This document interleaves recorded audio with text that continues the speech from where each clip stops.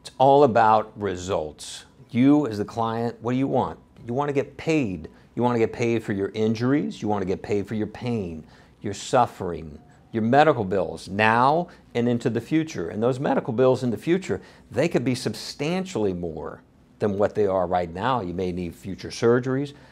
You want to get paid for that. In the end, it's all about results, results for you. Since 2001, I've helped thousands of people and I've recovered millions of dollars. Here at greytesh.com, it's all about results for you.